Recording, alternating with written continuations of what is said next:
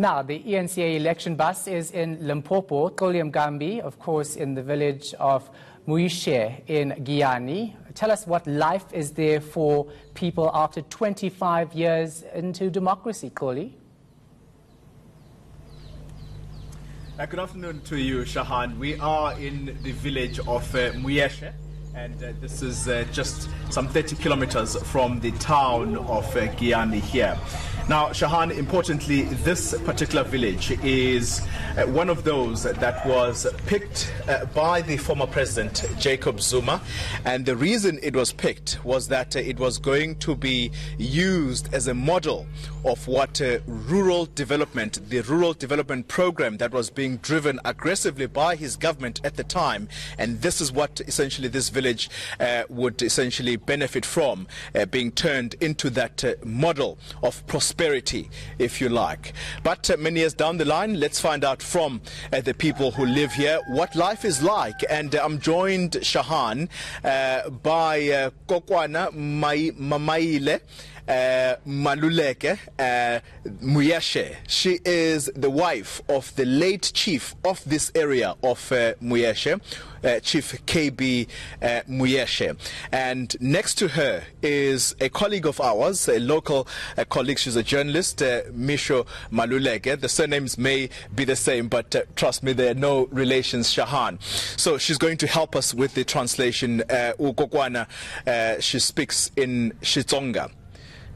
Kokwan, talk to us about what life is like for women of this village of uh, Muyeshe. We are told that this is one of the poorest villages in South Africa.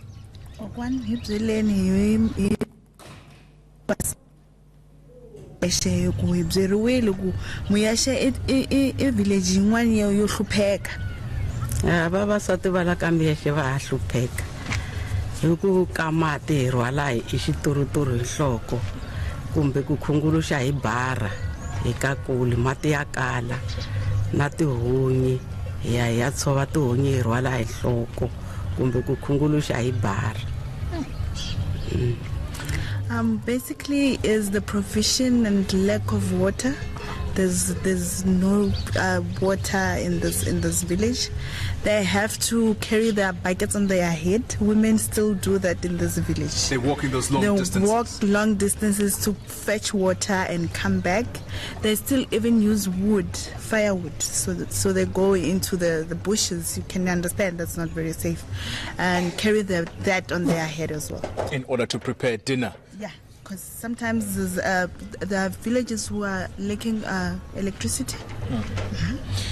Uh, Kokwana, the village, or should I say the town of uh, Greater Giyani, there's a project here that was being built uh, by Khato Civils, and that project was meant to uh, transport water, obviously with the pipes, transport water from the Nandoni Dam, which we understand is in Thohoyandou, to the Nsami Dam, which is a dam that is here in Giyani.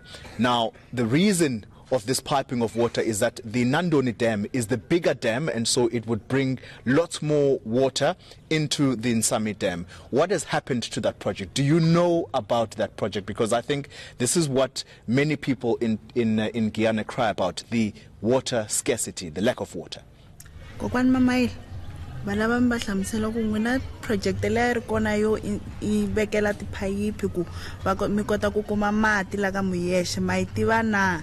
Leyi a yi teka mati yi suka ka damu lerikulu ra nandoni yi tisa ka nsami ka damu ra nsami. Ku ma yi tiva na? Mi ze mi nga twa hi yona na? Yi mi endlele yini? A hi ma kumangi mati yona hi yi twini ku khathu yi ta koka mati a yi ma tisa dan'wini ra nsama ivi na hina va hi phakela hi makuma mara a hi ma kumangi e yi helele moyeni khathu mm. We've heard about Khato Civils um, that we were going to get water supply from Nandoni Dam into the Sami Dam. That would also help the village in providing water for all. But we don't know where where Khato Civils is now. We've we haven't heard from it. We don't have water. Kokwan, Uh, final question. I know the studio already they're telling us to wrap. We are out of time, so I'm going to ask you to be very brief.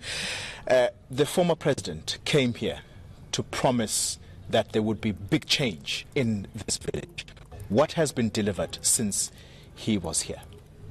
Kokwani hi ku ku- kunguhata swintsongo um khalo ka president wa hina wa south africa president jacob zuma i tile laha a mi tshembisa swo mi tshembisa naswona leswi a nga mi tshembisa i swi endlile na? Um swin'wana endlini swin'wana swi sele. Ivi endlile tliliniki a endla na hambi leya barama iwako na simatisete ivi a endla na na mathangi lamawa. Ivi a endla na poso a endla na ofisi laha e- e- endlini sweswe mara leswi a swi vulini leswi swin'wana swi sele. Ku sele molo i te ta endla molo a endla stadium ivi a endla patu a endla mati. A swi kona sweswi a swi endliwangi. Um what he promised. Most of the things he managed to, to, to keep the promise. He has built the post office um, the clinic. He also provided uh, the big truck trunk tanks to provide uh, water. But mostly what he, he left out it's it's part of you know the, the, the uh, tar road. Um, he promised a mall because they travel to town and it's quite far. Um, he promised a stadium, you know, recreational uh, activities. There's none. So he